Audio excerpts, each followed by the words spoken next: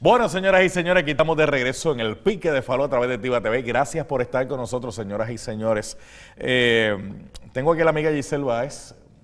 Hoy viene con Carmen Siguerra. Vamos a estar hablando ya mismito de las mascotas. Oye, en Puerto Rico se hizo un reportaje sobre, eh, es de Canadá la persona, este rescatista que vino aquí a Puerto Rico. Y sí, y es en relación a, a la, a la playa que le dicen Drop Dead eh, Beach, que es la, la playa de los perros muertos.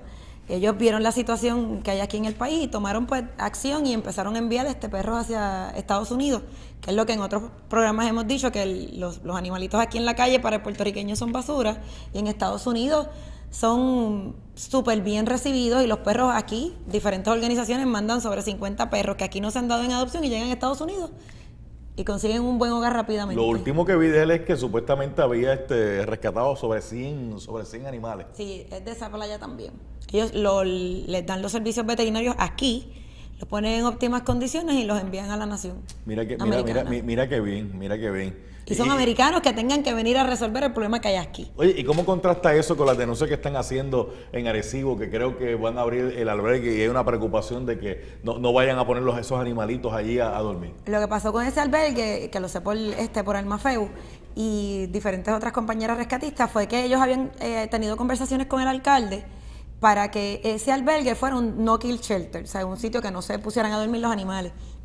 Aparentemente, la información que está corriendo es que sí va a ser, le cambiaron el nombre a control de animales. Obviamente, todos los sitios que dicen control de animales es que los animales que se han llevado ahí del municipio, pues van a ser eutanizados, que ese no fue el arreglo o las conversaciones que él tuvo con los diferentes rescatistas. Y lo que pasó es que muchas de las que tienen este, ruta de alimentación en esa área, cuando fueron a, llevarle el, alimento a lo, a lo que ellos le dicen los callejeritos, pues pusieron la comida y el agua, pero los perros no llegaron. Va- va- Vamos a seguir hablando de eso ya mismito eh, contigo aquí en el programa, pero quise aprovechar y, tocar un, un ratito ese tema, licenciado Zulma Rosario, porque yo sé que a usted también le gustan mu- mucho lo- los animalitos y, lo que está ocurriendo aquí en Puerto Rico. Mire, cuando usted vaya a adoptar, ¿verdad? Un, animalito, si lo puede ir a buscar a uno de los albergues, yo, yo creo que eh, está haciendo hasta una contribución, porque duele, duele decirlo, pero ponen a dormir, ¿verdad? Sí, Después un- de cierto tiempo los ponen a dormir. Lo de cierto tiempo depende. De- Ah, porque ellos allá. tienen, eh, cada albergue, y no los podemos ver desde un punto negativo, tienen una cantidad de jaulas específicas.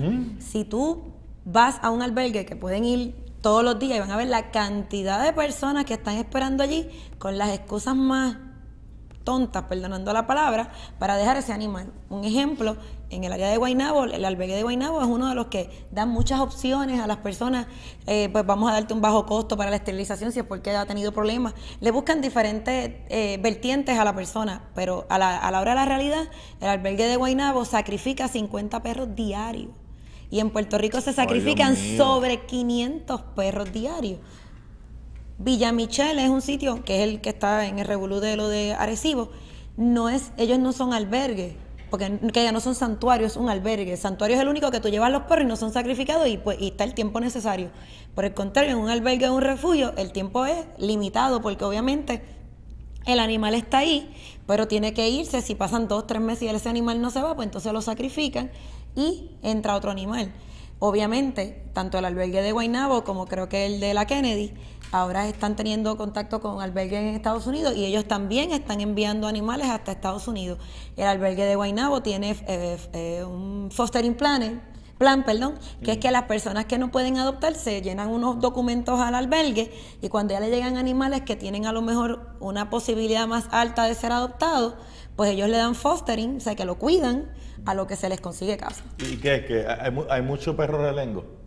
Sobre 300 mil, ¿Cuántos? sobre 300 mil perros en la calle. Y, y hay perros satos, hay perros de raza, y estamos hablando perros que pueden costar hasta más de mil dólares que terminan en la calle. Ay, Dios mío, pero ¿cómo es eso? En, en relación a la raza, que ya tú sabes que voy a hablar de los pitbull, Sí, de los sí, porque licenciada Solma Rosario, ella es loca con los pitbull. Pre- Hay un- ¿Usted hay un quiere saber caso- cuántos pitbull tiene ella? ¿Cuántos pitbull tú tienes en tu casa? En mi casa ahora mismo, después de, gracias a este programa, he tenido varias adopciones, eh, solamente quedan 19. 19 y, ella dice, nada más quedan 19. 19. Bueno, habían más. De- deja verificar algo, espérate. ¿Cu- ¿Cuántas mascotas tiene usted, licenciada Solma Rosario? Cuatro perras y una gata. Cuatro perras y una gata. Todas son satas. De hecho, yo relajaba en Ah. casa porque uno de mis perros que ya, ya murió, pero murió bajo el cuidado nuestro, más de 15 años, eh, se llamaba Tesoro, y era el único que tenía papeles. Y era papeles del refugio, porque te hacen firmar que lo vas a esterilizar, que le vas a dar este cuidado, o sea, tú llegas a, una, a un acuerdo con el albergue de que en efecto tú vas a hacer buen cuidado de ese animal. Pero- Así que el único que tenía papel era Tesoro. Eh, Pero- Nosotros pero- como pero déjame organización algo. con contrato. Sí. De- con déjeme decirle algo, el perro sato, que mucha gente le dice sato pensando que no es de raza, es de raza. Bueno, son razas mixtas. No, mire, escucha, escucha. son de- divinos. Mire, mire, ¿de qué raza es el perro el sato? Los puertorricenses, como tú lo dices. Eh, los Puerto Rican Terrier. Los Puerto puertorricenses. Rican Terrier, sí.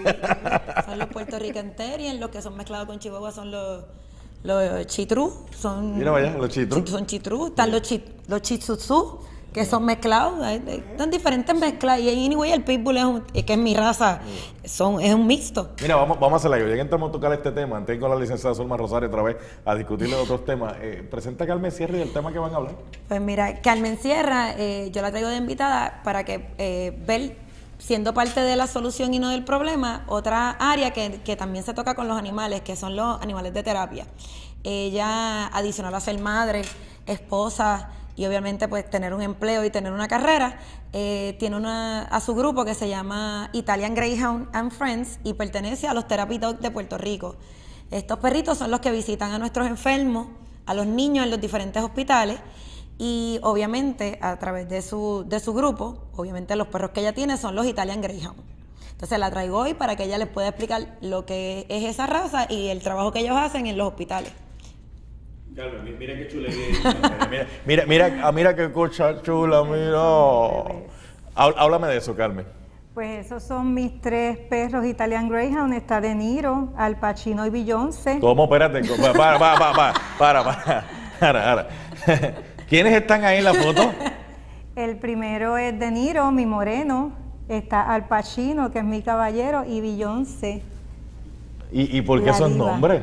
Ah, porque yo quería ponerle un nombre intenso que la persona cuando los conociera no se olvidara de ellos. Y me ha funcionado muy bien. Qué bien, qué tremendo, mira. Y tengo una bebé nueva adoptada que se llama Adele. Como la cantante. Adel. Adele. Adele. Sí. Oye, pero ven acá, tu- tus mascotas todas tienen nombres así. Ah, mira, ese es Adele. Ese es Adele. Esa es Adel. Esa es Adel. Pues mis perros de los cuatro, ya hay tres que son certificados por Puerto Rico Therapy Dogs. Nosotros eh, visitamos eh, distintas instituciones, hospitales, eh, escuelas, universidades y le llevamos un poquito de orientación y también alegría a esa persona que se encuentra en el hospital o que está en un asilo de ancianos que no recibe mucha visita. Y es impresionante, eso fue en una fiesta de Navidad que le llevamos eh, a un hogar de ancianos y la alegría que ellos expresan, eso no tiene precio. El saber que una persona está encamada, que no puede hablar y que con la mano te hace el movimiento de que por favor vayas allá y le coloques el perro al lado. Eso es algo que, que no tiene precio. Mira, es mira, una mira experiencia linda, eso es un programa eh, donde nosotros vamos con los perros a un centro de eh, educación para niños con necesidades de lectura, donde en ese programa los niños le leen cuentos a los perros. ¿Y qué hace esto? Se ha logrado que los niños que tienen distintas condiciones puedan canalizar eh, la ansiedad que le da y uno entra, el niño está sumamente inquieto, toda vez se sienta, coge su libro, el niño va bajando revoluciones y comienzan eh, a identificarse con el perro que ellos quieran, ellos escogen el perro que ellos quieren. Se sientan al lado, nos leen el cuento, si el niño necesita apoyo nosotros le ayudamos, nos sentamos con ellos en el piso. Es una experiencia linda, es gratificante. Este, muchas ocasiones nos preguntan este, que si nos pagan por este servicio, esto es completamente voluntario. Las personas que quieran pertenecer eh, a Puerto Rico Therapy Dogs eh, pueden escribir un correo um, a info@prtherapydogs.com, envían su información y ahí le van a dar eh, una orientación de cuál es el proceso para que ellos puedan pertenecer a nuestro grupo. Eh, yo pues trabajo eh, a tiempo completo eh, y solamente puedo hacer mis visitas sábados y domingos, así que trato de arreglar mi itinerario de acuerdo a todo lo que tengo que hacer para poder cumplir por lo menos una visita semanal y como tengo que llevar uno solo, pues los alterno. Me llevo uno un día, otro día me llevo a otro, pero realmente ir a un campamento de niños con necesidades especiales y que ese niño se te siente al lado, no hay nada en el mundo que yo pueda comparar esa, esa experiencia que tú sientes de tu poder aportar un poquito a que ese niño se sienta bien. Qué bien, qué, qué, qué, qué, tremendo, ¿verdad? Qué maravilloso. ¿Dónde, te pueden conseguir? Repite otra vez la dirección. Eh, nosotros tenemos en Puerto Rico Terapidocs es infoaroba, prterapidocs.com y la página eh, que yo tengo que es Italian Greyhound and Friends es un grupo para personas que tienen esta raza y personas que quisiesen conocer más de la raza porque, aunque usted no lo crea, eh, los perros que aparecen abandonados en la calle no se suscriben solamente a que sean perros callejeros. Perros de raza. Eh, yo he ubicado más de 16 Italian Greyhound en distintas casas. Rescatados, rescatados. Rescatados. He sacado perros con garrapatas hasta en los ojos. Wow. Este, y pues tenemos un grupo bueno, nosotros nos reunimos, pero hacemos otro tipo de actividad. Nosotros le damos apoyo a todas las actividades de recolección de comida para los albergues y los santuarios. Qué bien.